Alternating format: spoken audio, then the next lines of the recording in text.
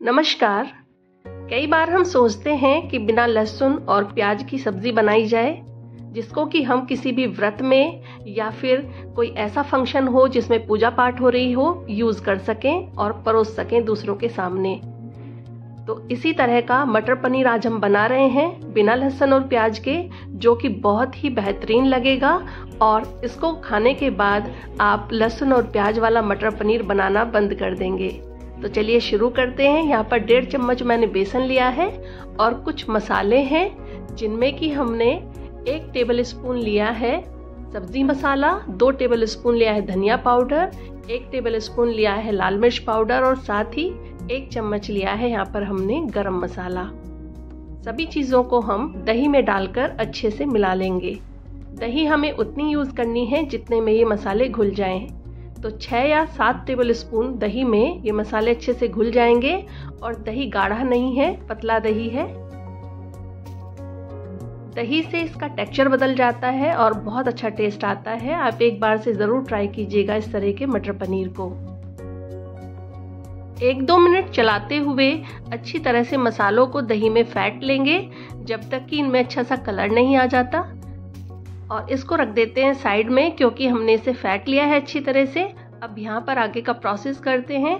तो मैंने काजू लिए थे, जिनको कि आधा घंटा पहले ही पानी में भिगोकर रख दिया था। चार से पाँच टेबल स्पून टुकड़ा काजू हैं, और यहाँ पर आधी किलो मैंने लिए हैं टमाटर, क्योंकि आधा किलो पनीर बना रहे हैं, और आधे किलो टमाटर लिए हैं हमने, और तीन लिए हैं यहाँ पर हरी मिर्च, और दो इंच लंबा अदरक का टुकड़ा। अब इन सभी चीज़ों को काजू, टमाटर, अदरक और साथ ही हरी मिर्च को हम पेस्ट बनाएँगे।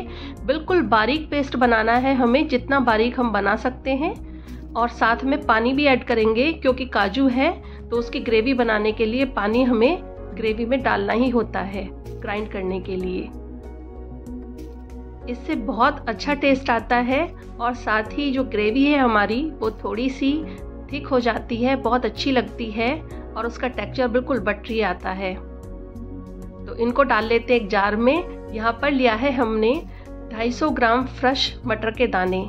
सर्दियाँ हैं तो इसलिए फ्रेश मटर आई हुई हैं। आप फ्रोज़न मटर का भी इस्तेमाल कर सकते हैं और इनको मैं बॉईल करूँगी और साथ ही आधा किलो पनीर लिया है। जितनी मैं सब्ज़ी यहाँ पर बना रही हूँ परिवार के सात से आठ सदस्यों के लिए पर्याप्त है। कुछ खड़े मसाले हैं, एक चम्मच लिया है जीरा, दो हरी इलायची खोल कर ली हैं, चार पाँच लौंग ली हैं और दो इंच लंबा यहाँ पर दालचीनी का टुकड़ा, दो ली हैं बड़ी इलायची और साथ ही दस से बारह ली हैं काली मिर्च। एक तेज पत्ता भी लिया है और आधा कप यहाँ पर हरे धनिए को धोने के बाद मैंने बारीक काट लिया है। हरे धनिए को आप डंठल समेत बारीक काटिएगा, बहुत अच्छा टेस्ट आता है। एक चम्मच कसूरी मेथी ली है यहाँ पर हमने। तो सभी चीज़ों को मिक्सी जार में डाल लेते हैं, काजू, टमाटर, हरी मिर्च और साथ ही अदरक। इसका हम बारीक पेस्ट बना लेते हैं। देखिए, बारीक पेस्ट बनकर तैयार है। साइड में रख देते हैं इसको और मटर रख देते हैं हम बॉईल होने के लिए। इसमें हम थोड़ा सा पानी डालकर सिर्फ़ दो सीटियाँ लगवाएँगे। तो जब तक मटर बॉईल हो रही हैं, एक कढ़ाई में मैंने डाल लिया है सात से आठ टेबल स्पून तेल और जब तेल में से थोड़ा सा धुआँ निकल गया है, तब ऐड करा है एक चमचा भरकर देसी घी। अब यहाँ पर घी और तेल को अच्छे से गर्म हो जाने देते हैं। तो यहाँ पर ऐड करे हैं मैंने खड़े मसाले, जो कि अभी लिए थे सारे मसाले, वो सब डाल दिए हैं इसके अंदर। मसाले अच्छे से चटक जाएँगे। तब हम इसके अंदर थोड़ा सा एक चम्मच धनिया पाउडर और एक चम्मच कश्मीरी लाल मिर्च पाउडर ऐड करेंगे। इससे बहुत अच्छा कलर आता है सब्ज़ी में। अब फटाफट से डाल देते हैं। यहाँ पर हम, जो हमने पेस्ट बनाया था, काजू टमाटर और हरी मिर्च, साथ ही अदरक का। सारा पेस्ट ऐड कर देते हैं और इस पेस्ट को हम थोड़ा सा दो या तीन मिनट लगातार चलाते हुए पकाएँगे। इसको भून लेंगे अच्छे से हम। बहुत जल्दी बनकर तैयार हो जाती है सब्ज़ी, ऐसा कुछ नहीं है कि इसमें बहुत टाइम लगेगा। मुझे थोड़ी ज़्यादा क्वांटिटी में सब्ज़ी बनानी पड़ रही है। आप थोड़ी कम बनाएँगे तो और भी जल्दी बनकर तैयार हो जाएगी। देखिए कितना अच्छा कलर आया है, क्योंकि हमने कश्मीरी लाल मिर्च ऐड करा है यहाँ पर। तली में काजू की वजह से ये ग्रेवी बहुत जल्दी चिपकती है, इसलिए आप जब इसे चलाएँ तो ध्यान रखें कि तली से अच्छी तरह से इसको हटाते हुए चलाना है, नहीं तो ये बहुत जल्दी चिपक जाती है। अब दो से तीन मिनट के अंदर ही इसमें बबल्स आने शुरू हो जाते हैं, हमारे ऊपर छींटे पड़ने लग जाते हैं तो यहाँ पर ऐड कर दिया है हमने जो दही के अंदर मसालों को डाला था, वो पेस्ट। और लगातार चलाते हुए जब तक इसको पकाएँगे, जब तक कि इसमें अच्छे से बबल्स या फिर इसकी तेल अलग नहीं हो जाता, क्योंकि दही बहुत जल्दी फट जाता है और साथ ही इसके अंदर बेसन है तो वो भी बहुत जल्दी चिपकता है तली में। देखिए, मसाला हमारा तीन से चार मिनट के अंदर ही भुनकर बिल्कुल तैयार हो जाता है। इस तरीके से तली को छोड़ देता है मसाला बिल्कुल।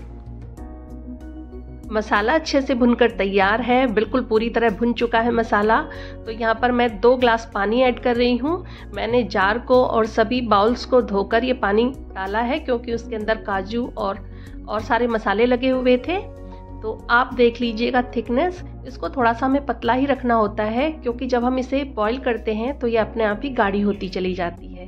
स्टार्टिंग में ज़्यादा पतली ना रखें। अगर आपको गाढ़ी लगे तो आप बाद में भी पानी ऐड कर सकते हैं। देखते हैं इसमें बॉईल आने के बाद इसकी कंसिस्टेंसी यहाँ पर इसमें अच्छा सा बॉईल आ गया है हमारी ग्रेवी में।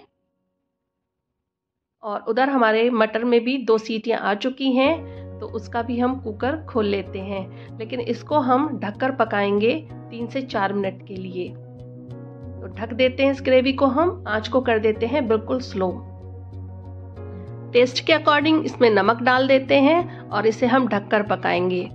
आँच बिल्कुल तेज जला रखिए और बीच बीच में इसको चलाने का ध्यान रखेंगे। तो इधर कुकर खोल लेते हैं।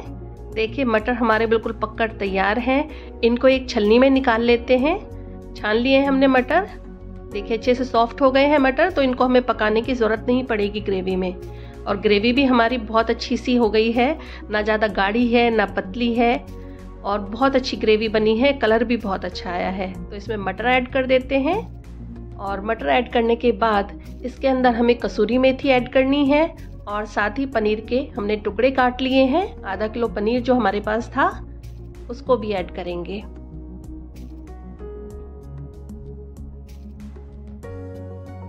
इस तरीके से आप पनीर बनाएँगे तो बनाना बहुत आसान होता है और बहुत ही अच्छा पनीर बनता है। किसी होटल या रेस्टोरेंट से तो लाख गुना अच्छा बनता है।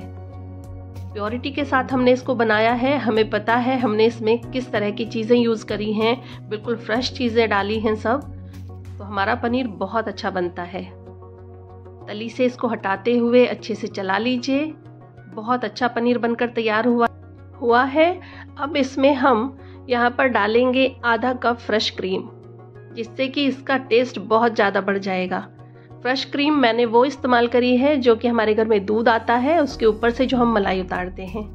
आप चाहें तो बाज़ार की कोई भी क्रीम यूज़ कर सकते हैं इसके ऊपर। तो यहाँ पर डाल देते हैं हम धनिया पत्ती और साथ ही डाल देते हैं फ्रेश क्रीम। धनिया पत्ती का भी इसमें बहुत ज़्यादा रोल होता है, बहुत अच्छा टेस्ट आता है इससे भी और देखने में भी बहुत अच्छा लगता है हमारा पनीर।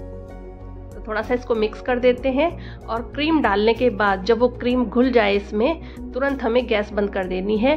इसलिए मैंने धनिया पत्ती भी पहले ही ऐड करी है यहाँ पर और हमें यहाँ पर गैस अब नहीं चला के रखनी। तो जैसे ही हम इसको डालेंगे, हल्का सा इसको घोल लेंगे और उसके बाद तुरंत हम कर देंगे गैस बंद। पनीर और सभी चीज़ें डालने के बाद हमें गैस को सिर्फ़ एक या दो मिनट ही चलाना है, उससे ज़्यादा ना चलाएँ। नहीं तो जो पनीर के क्यूब्स हैं, वो हो जाते हैं हार्ड सॉफ्ट नहीं रह पाते। अगर आप ज़्यादा गैस चलाएँगे तो वो हार्ड हो जाएँगे और पनीर हमारा अच्छा नहीं बनेगा। तो यहाँ पर मलाई पूरी तरह से घुल चुकी है। देखिए।